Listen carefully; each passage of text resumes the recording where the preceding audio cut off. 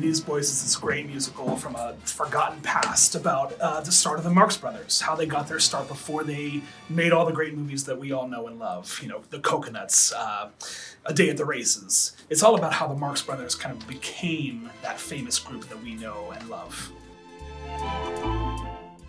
Arthur Whitelaw, who's was the producer, uh, got the rights to uh, the Marx Brothers' lives, their, their early lives, and uh, I was had just started to write with Hal Hackady, and he uh, asked us if we would be interested in uh, writing some songs on spec for this project he was doing, and uh, we, of course we said yes.